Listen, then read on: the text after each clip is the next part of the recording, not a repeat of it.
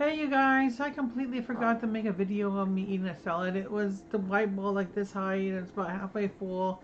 So um, if you see my other videos of the white bowl salad, that's what I have. I can't really show a video right now because all the salad's gone.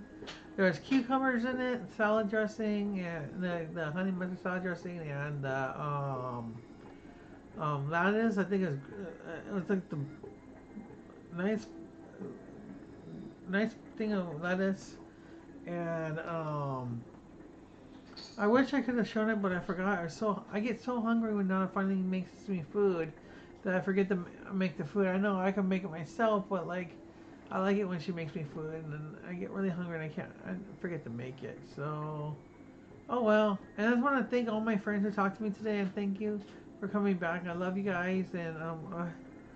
I I really missed you when you were gone, and um, I just want to thank you. All right, bye. Yeah, Donna, we were supposed to make.